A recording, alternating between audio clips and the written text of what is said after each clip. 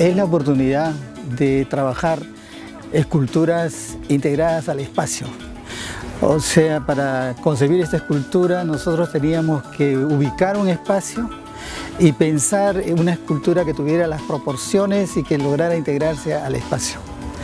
Entonces, con unos amigos arquitectos, este, uno en especial me ayudó, me dijo, este espacio está perfecto, justo el cruce de la avenida Diagonal con, con Benavides.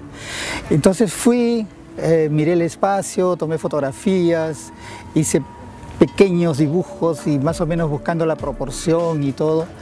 Y luego hice un boceto, un boceto a escala, de 1 en 10. Y el boceto es el que presenté en el concurso. O sea, en el boceto estaba ya la escultura tal como iba a ser.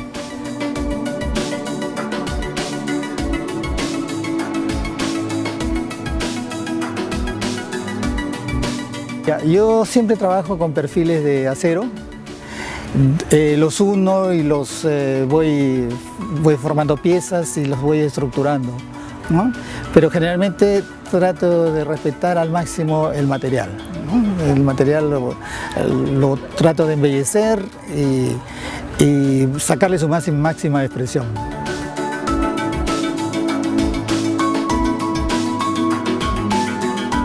Salíamos del gobierno militar, salíamos de... estábamos realmente casi... No, teníamos mucha libertad de salir, económicamente sobre todo, ¿no? Entonces había esa cosa que sentíamos todos y por eso dice Semblanza de la Libertad.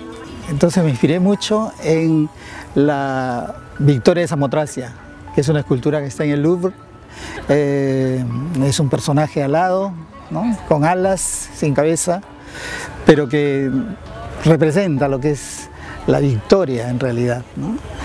Entonces, este, yo hice mi composición a partir de, esto, eh, acentuando lo que es la tensión, las diagonales, es un personaje que va a despegar.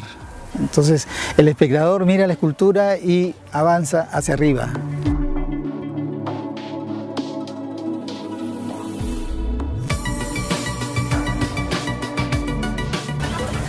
Claro, era un espacio muy bello. Eh, en Lima generalmente es muy plana. Entonces aquí tenemos justo la bajada Balta, luego tenemos otras avenidas ahí, otras a otro nivel. Entonces es un sitio muy rico. Este, casualmente por eso lo escogí, porque la escultura se integra muy bien. uno sube en auto y, va viendo la escultura perfectamente, ¿no? que avance hacia adelante y, también se integra con los automóviles y, todo. ¿no?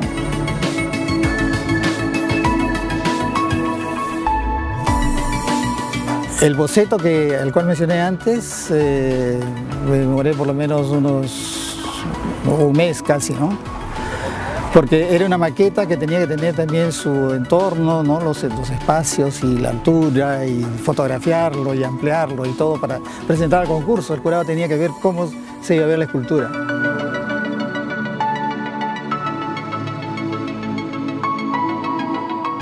Todos los espacios, los niveles, las rampas, eh, los edificios y todo para que la escultura se integrara.